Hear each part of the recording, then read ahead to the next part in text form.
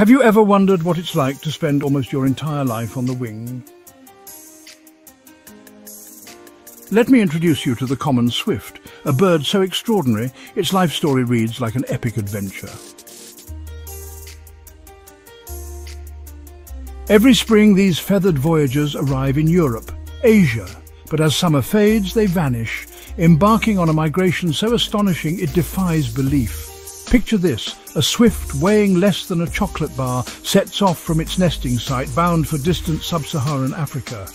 No maps, no GPS, just instinct and the wind over deserts, mountains, through storms and blazing sun the swift presses on. For months on end it barely pauses to rest, often eating, drinking, even sleeping while gliding through the air.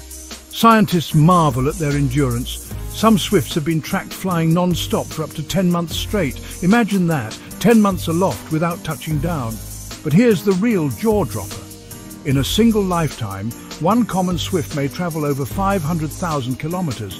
That's enough to circle Earth 12 times. Or if you fancy a cosmic comparison, it's farther than a trip to the moon and back, all powered by wings no longer than your hand. Why do they do it? It's all about survival.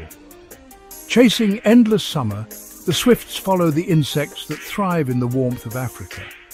As the northern days grow cold and food grows scarce, the swifts race south, always searching for the next meal on the wing.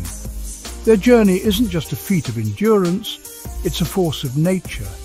Each year they navigate vast continents, dodge predators, cross seas, all to raise their chicks and keep the cycle going.